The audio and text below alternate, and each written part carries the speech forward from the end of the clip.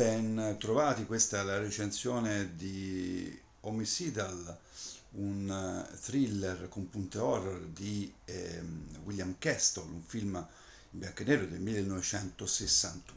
La visione eh, per eh, dire, l'indicazione di questo film, per l'indicazione di questo film ringraziamo la nostra amica Francesca Diancona che è una nota amante di film eh, retro, di film ehm, vintage di film passati, ma soprattutto anche di sceneggiati eh, televisivi e viva Dio che ci sono ancora persone così, perché eh, non solo ehm, eh, guardano il passato, ma lo consigliano anche, come hanno fatto eh, con questo, questo, film veramente molto interessante che mh, avevamo perso per vari motivi.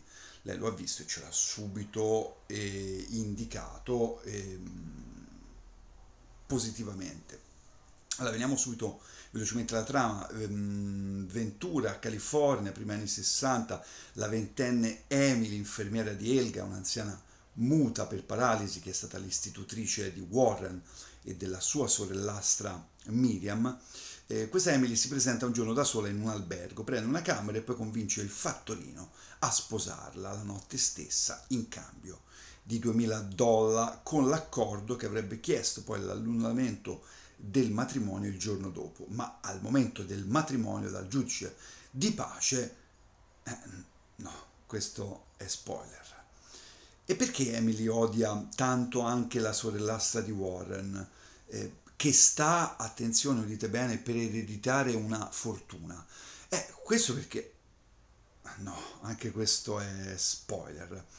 Se questa trama vi ha alluzzati, allora sapete benissimo che cosa fare, andare a trovare questo eh, film. Su Vimeo eh, se ne trova una versione in inglese molto succosa che naturalmente linkiamo in descrizione. Guardate sempre i link in descrizione, mi raccomando perché ci mettiamo sempre trailer, insomma credits, cose aggiunte del film o del libro di cui stiamo trattando. Allora, eh, William Castle, due parole, due sul regista, pseudonimo di William Schloss, Castle, Schloss vuol dire castello in tedesco, è stato un regista, produttore cinematografico attore statunitense morto nel 1977, ex assistente del regista Orson Welles, noto nell'ambiente appunto eh, come mago del B-movie, ha lavorato per la Universal, per la Columbia, e gira questo homicidal, questo thriller che fa parte dei cinque scritti dal romanziere d'avventura Rob White e lo gira con, molti, con i suoi soliti espedienti e ambiziosi, mh? Tipico del suo modo produttivo di fare cinema, ad esempio per girare questo film ipotecò la sua casa, mi immagino la moglie come fosse contenta, e fondò la William Castle Production e agli spettatori questa William Castle Production offriva una polizza assicurativa di 1000 dollari in caso di morte per paura eh, durante la visione del film. Se morivi, la sua, questa assicurazione ti avrebbe, avrebbe pagato i tuoi familiari di 1000 dollari. Un po' come fa Emily no? nel film, l'infermiera un po' come fa l'infermiera eh, del film col facchino dell'albergo.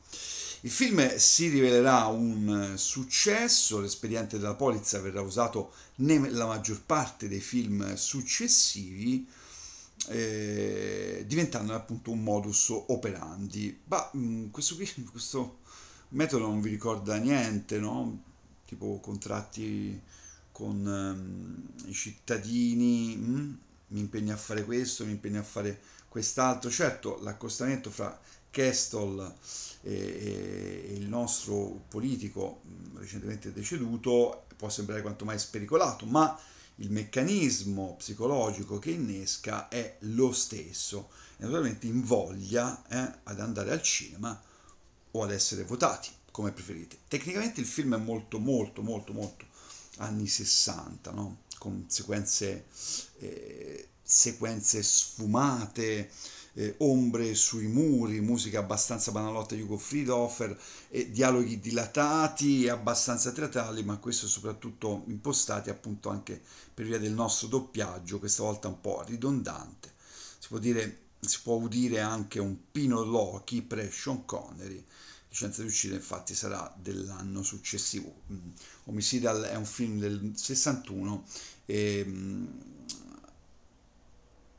License to Kill è un film del 1962. Castle non è un grande regista, lo, lo vedrete, scopiazza, scimmiotta Hitchcock anche col suo apparire sornione a inizio pellicola, no? ironico e divertito, mentre è intento a un mulebrissimo lavoro di cucito, mulebrissimo ovviamente per l'epoca. Io oggi pagherei per saper cucire così, anche perché ogni volta che salta un bottone sono coltellate e poi le sarte sembrano tutte scomparse, risucchiate dal, dallo schiocco di dita di Thanos. Però eh, più di una volta Castle mh, mm, ci fa avere l'impressione appunto di trovarci, ma anche i romanzieri ci fanno trovare, gli sceneggiatori di farci trovare eh, in uno mh, mm, psycho.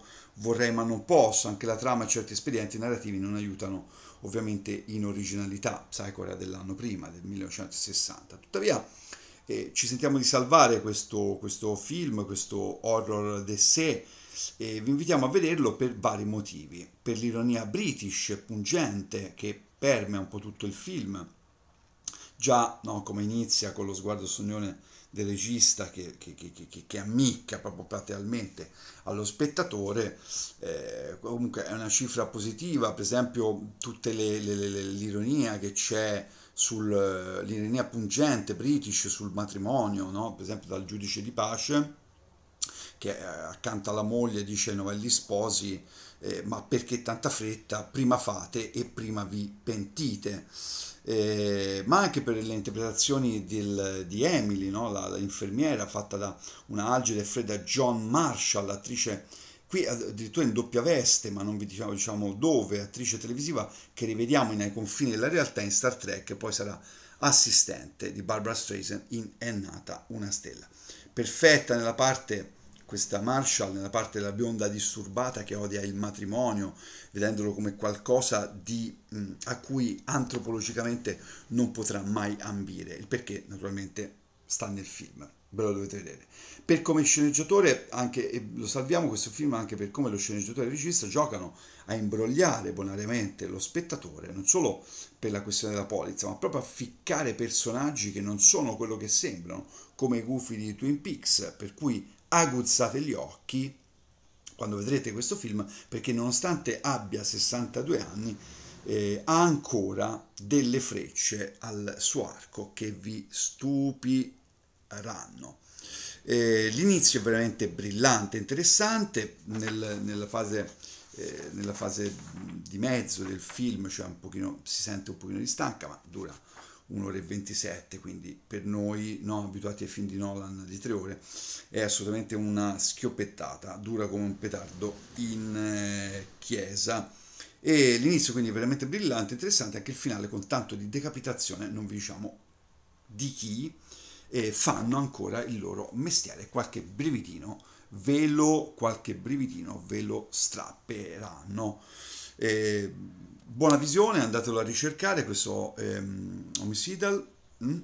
ne circola una versione DVD usato in italiano e inglese, esclusiva per l'Italia Sinister Film del 2013, distribuito da Cecchi Gori, quindi usato si dovrebbe trovare, ma è un film assolutamente che per gli amanti degli anni, dei thriller anni 60, anni 70, insomma, è assolutamente un bel, eh, un bel oggettino da eh, collezionare, da tenere fra i propri Blu-ray e DVD da Cinefilla. Grazie della vostra attenzione, iscrivetevi al canale, lasciate un like, lasciate un commento e ci vediamo alla prossima video recensione. Eh, grazie e buon settembre a tutti.